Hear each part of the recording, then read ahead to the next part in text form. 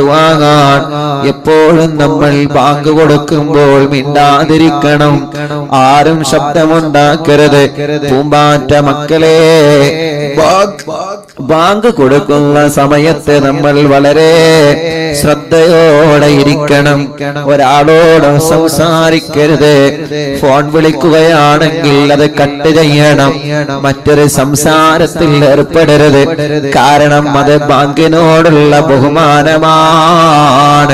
അങ്ങനെ ബാങ്ക് കഴിഞ്ഞാൽ ഈ ദിക്ർ നമ്മൾ ചൊല്ലണം. എന്നിട്ട് മലയാളത്തിൽ നിന്ന് ദുവാക ചെയ്യണം. കാരണം ബാങ്ക് കഴിഞ്ഞ ഉടനെയുള്ള ദുവാകിന് ഇജാപത്തുണ്ടെന്ന് നബിയേ നബി മുഹമ്മദ് മുസ്തഫ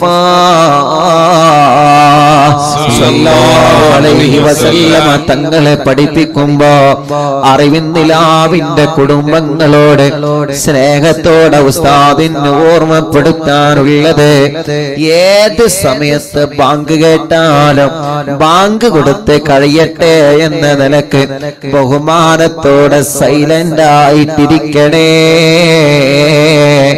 അല്ലാ ബാങ്ക് കഴിഞ്ഞ ഉടനെ മനസ്സിൽ എന്ത് ആഗ്രഹമുണ്ടോ? ആ ആഗ്രഹം നിങ്ങൾ റബ്ബിനോട് പറയണം. ബാങ്ക് കൊടുത്ത കഴിഞ്ഞ ഉടനെയുള്ള പ്രാർത്ഥന അല്ല തട്ടിക്കളയൂല. ബാങ്ക് കൊടുത്ത കഴിഞ്ഞ ഉടനെയുള്ള പ്രാർത്ഥന അല്ല തട്ടിക്കളയൂല. ചെറുപ്പക്കാരെ പാപ്പമാരെ നിങ്ങളെ വെള്ളിയാഴ്ച ചുമക്ക് പോകാറില്ലേ? വെള്ളിയാഴ്ച ചുമക്ക് പോകുമ്പോ ഹത്തീബ് മിമ്പറിൽ ഇരിക്കുന്ന സമയമുണ്ടല്ലോ. നല്ലവണ്ണം ശ്രദ്ധിക്കണേ. ഹത്തീബ് ഒന്നാമത്തെ ഹുതബ കഴിഞ്ഞ് മിമ്പറിൽ ഇരുന്ന് അല്പസമയം കഴിഞ്ഞ് എഴുന്നേറ്റ് രണ്ടാമത്തെ ഹുതബക്ക് എഴുന്നേൽക്കോലോ. ആ സമയത്തുള്ള ഇരുത്തത്തിന്റെ സമയം ഏറ്റവും മഫ്ലനായ സമയമാണെന്ന് മഹാന്മാര് നമ്മളെ പഠിപ്പിച്ചിട്ടുണ്ടേ.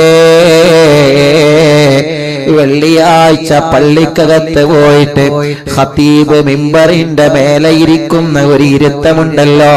അഥവാ ഒന്നാമത്തെ ഹുതബ കഴിഞ്ഞ് ഇരുന്ന് രണ്ടാമത്തെ ഹുതബക്ക് എഴുന്നേൽക്കുന്നതിന്റെ മുമ്പുള്ള ആ കുറഞ്ഞ സമയം ആ കുറഞ്ഞ സമയം വലിയ മഹത്വമുള്ള സമയമാണേ. ആ സമയത്ത് നമ്മൾ ചൊല്ലേണ്ടത് ഇബ്രാഹിമിയ സ്വലാത്താണ്. അള്ളാ ആ സ്വലാത്ത് ചൊല്ലിയിട്ട് മനസ്സിലെ പ്രധാനപ്പെട്ട കാര്യം നിങ്ങൾ റബ്ബിനോട് ചോദിക്കണം. അല്ല തരും ചെറുപ്പക്കാരാ. അല്ല തരും ബാപ്പമാരേ. അങ്ങനെ ഇജാപത്തുള്ള സമയങ്ങളൊന്നും നമ്മളെ നഷ്ടപ്പെടുത്തരുത്. മഴ പെയ്യുമ്പോ ഇജാബത്തുള്ള സമയമാണ്.